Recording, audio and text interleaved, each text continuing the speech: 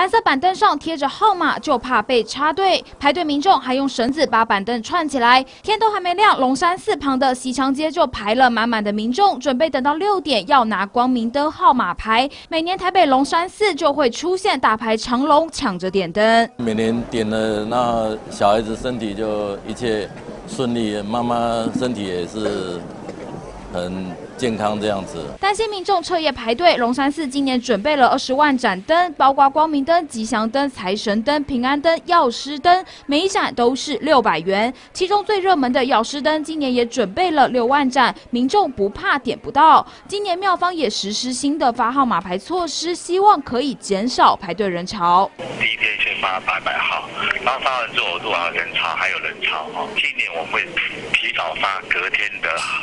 五百号给群众，然后他们不要在那排队。虽然实施新措施，不过点灯报名第一天人潮还是满满满，还有民众在入场前不满有人代牌持刀发生纠纷。妙方说，今年灯的数量准备很多，民众不用抢在头两天报名，一星期内都可以点得到。